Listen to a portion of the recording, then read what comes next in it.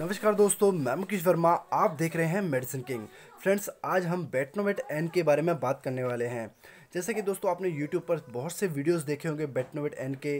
Fairness कितना इससे अधिक होता है, कितना गोरापन होता है, ये मतलब गोरी के लिए कितनी इस्तेमाल की जाती है? और दोस्तों, अपनी इंडिया के अंदर मतलब बेटनोवेट एन का इतना इस्तेमाल होता है फेयरनेस के लिए फेयरनेस क्रीम के द्वारा। और मतलब आपने इसके बहुत से रिव्यूज़ भी देखे होंगे, बहुत से कस्बों, गाँव में, शहर में बेटनोवेट एन का इस्तेमाल किया जाता है। तो दोस्तों, मैं बता दूँ, इसके कितने हार्मफुल हैं और क्या सही इस्तेमाल है, उसके बारे में जानकारी हम लेंगे।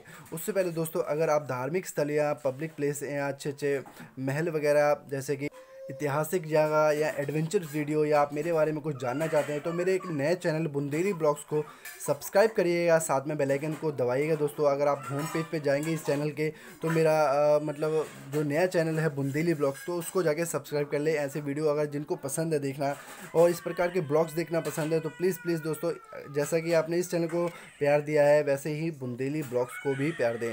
तो दोस्तों बढ़ते हैं आगे वीडियो के और यहाँ पर जानते हैं हम बैटनोवेट एन के कितने साइड इफ़ेक्ट हैं। और उसके सही इस्तेमाल क्या है? तो यहाँ पर आप देख सकते हैं 20 ग्राम की पैकिंग है और बेटनोवेट एंड की यहाँ पर ब्रांडिंग है। तो भाई एक एथिकल ब्रांड है और इसको ग्लेक्सो स्मिथी काइंड इस प्रोडक्ट को बनाती है। तो भाई मैं दिखा देता हूँ कहाँ लिखा है। उन्होंने लोगो तो दिया है यहाँ पर। तो यहाँ पर हम्म, भाई तो यहाँ पर देखिए आप देख सकते हैं G S K GlaxoSmithKline इस प्रोडक्ट को बनाती है हाँ दोस्तों, यहाँ पर लिखा होना ग्लेक्सो सिमिथी काइंड फार्मास्यूटिकल। दोस्तों, इनके बहुत से प्रोडक्ट आते हैं और एक एथिकल ब्रांड है और मार्केट में बिकने वाला बहुत ज़्यादा अच्छा प्रोडक्ट है ये। और दोस्तों, मैं बता दूँ, ये एक ब्लैक में भी बुक, बिक चुका है ये प्रोडक्ट क्योंकि दोस्तों एम से बढ़ भी इसको केमिस्ट वाले बेचते हैं, जो कि गलत है दोस्तों। पर दोस्तों, इसके इस्तेमाल के अकॉर्डिंग इसको इतना महँगा बेचा बेचा जाता है। तो दोस्तों, हम मेन मुद्दे पर आते हैं, बात करते हैं इसके फ़ायदे के बारे में। ये मेन किस पर्पज़ के लिए इस्तेमाल किया जाता है। दोस्तों, मैं बता दूँ, ये स्किन इन्फेक्शन जैसे कि जिनको स्किन की प्रॉब्लम रहती है तो उस कंडीशन में आप इस क्रीम का इस्तेमाल कर सकते हैं। तो दोस्तों स्किन इन्फेक्शन किस प्रकार की? तो जिन पेशेंट्स को एलर्जी होती है, चरम रोग है या दाद है, खुजली है या बॉडी के ऊपर सोराइसिस होते हैं, जैसे कि एक्जिमा तो दोस्तों उस कंडीशन में आप इस क्रीम का इस्तेमाल कर सकते हैं, ना कि फेयरनेस के लिए। और दोस्तों, ये एक तो इसको नेफ्रो नेफ्रोटिक सिंड्रोम जैसे कि दांत खाज खुजली सोराइसिस एक्जिमा या फफोले होना या आपकी बॉडी के ऊपर पिंपल्स निकलना या फेस के ऊपर पिंपल्स हो जाते हैं बॉडी में चकत्ते पड़ जाते हैं तो उस कंडीशन में आप इस क्रीम का इस्तेमाल कर सकते हैं। और इसके इस्तेमाल है जैसे कि फेस के ऊपर पित्ती होना बॉडी के ऊपर पित्ती हल्की हल्की फिंसी होना या आपके मतलब स्किन के ऊपर चकत्ते पड़ जाते हैं। या फेस के ऊपर पिंपल्स या एक्ने तो उस कंडीशन के लिए आप बेटनोवेट एंड क्रीम का इस्तेमाल कर सकते हैं। और दोस्तों, मैं ये बता दूँ, जिनके फेस के ऊपर पिंपल्स होते हैं तो वो लगातार कंटिन्यू इसका इस्तेमाल करते हैं, जो कि बहुत ही हार्मफुल होता है। दोस्तों, ये स्टेंट रिलीफ के लिए है, जैसे जिनको कम पिम्पल्स हैं हल्के फुल्के हो चुके हैं, ज़्यादा नहीं है तो उसके लिए आप इस क्रीम का इस्तेमाल करेंगे तो बहुत ही अच्छा रिज़ल्ट देखा गया है। तो दोस्तों, हम बात करते हैं इसके साइड इफ़ेक्ट के बारे में, और फिर हम बताते हैं स्किन के लिए बिल्कुल इस्तेमाल ना करें।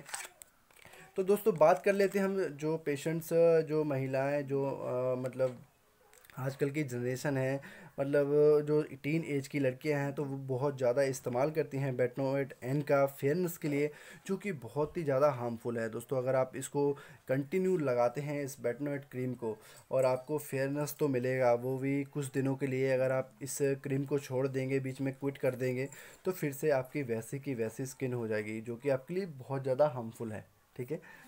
तो दोस्तों मैं बता देता हूँ मतलब उनके लिए कितना अफेक्टिव है ये सॉरी साइड इफ़ेक्टली है और इस क्रीम का जो इसको रेगुलर इस्तेमाल करती हैं बॉडी को अप्लाई अप्लाई करती हैं, हाथों के ऊपर अप्लाई करती हैं जो महिलाएँ तो उनके लिए मैं बता देता हूँ कितना साइड इफ़ेक्ट आपको हो सकता है।